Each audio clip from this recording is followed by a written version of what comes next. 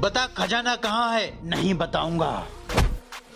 देखते हैं भाई। नाम क्या है तेरा? ये किंग दिमाग का बादशाह कैसे हाँ? पापा। किंग तू कहाँ है तीन महीने से? मेरे पास खेत जोतने के पैसे नहीं है। इस बार हमारा परिवार भूखा मर जाएगा। नहीं पापा। अपना खेत जोतने के बारे में सोचो भी मत क्योंकि मैंने सारा खजाना उसी खेत में दबा रखा है। जाओ इसका खेत खोद डालो। दिमाग लगा रहा है भाई। नवाब साहब पूरा खेत खोद डाला। खजाना कहीं नहीं मिला। पापा गुलाम होते हुए भी मैंने आपका खेत जोतने का इंतज़ाम करवा दिया है। फ़सल बो दो। नवाब साहब किंग वो नहीं जिसके पास बहुत दौलत है ना ही वो है जिसके क्या बात है। खून में आग है। असली किंग तो वो है जिसके पास शातिर दिमाग है। हमें तेरा दिमाग पसंद दिमाग का खेला आज से किंग हमारे साथ काम करेगा।